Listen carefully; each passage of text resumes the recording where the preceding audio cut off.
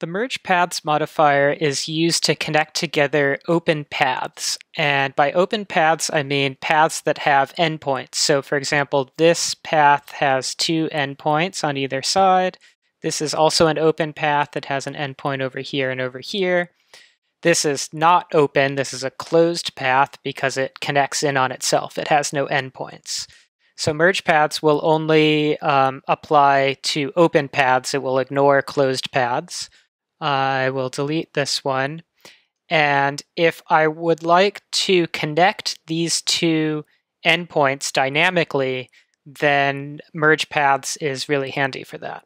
So if I select both of these and I go to modify merge paths, then it created, you can see in red here, this um, connection segment between my open paths because these two endpoints were close together. And close together means that they are less than this parameter, which is by default set to 1. Um, so we're in inches, so that's 1 inch. So if endpoints are within 1 inch, they'll be connected. And if I were to move my original paths, then at a certain point it will not connect them because the endpoints are farther away than that 1 inch. If I'd like them to still be connected, I can change that parameter so I can just move this from 1 to a higher number and then they'll connect. Um, if I wanted this endpoint to connect with this endpoint, then I could put this at a much larger number and now these endpoints connect because their distance is within the connection distance threshold. Um, also, you can change your um, these handles. So this outgoing handle will affect the um, the connection segment.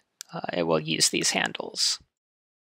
So I like to use merge paths when I'm trying to create something that, say, is symmetrical that I want to be closed up. So for example, I might have a shape like that. And I'll take this path and apply rotational repeat. And now I would like it if the, the these segments all closed in on themselves. So it created one closed shape. And to do that, I'll use merge paths. And now these endpoints, because they're closest, will get merged and it will, um, you know, draw in all the the necessary paths to make it one closed path. So if I edit this original one, I can still move things around. I can still affect the, the handles. Of course, if I move this too far away, it will not connect because it's these are farther than the connection distance, so I would need to increase the connection distance to make that work. Um, I can also, you know, be changing how many repetitions there are, and um, merge paths will take care of just connecting everything together. Um, it's also handy if, for example, I have um, some shape like this and I mirror repeat it and I want to connect all this together, then I can say merge paths. It connects here, these are too far away. They're more than the default connection distance, so I'll just increase that. And then they're connected. Um, and then I've got this, um, you know, symmetric shape that I can be changing around and modifying as I need to.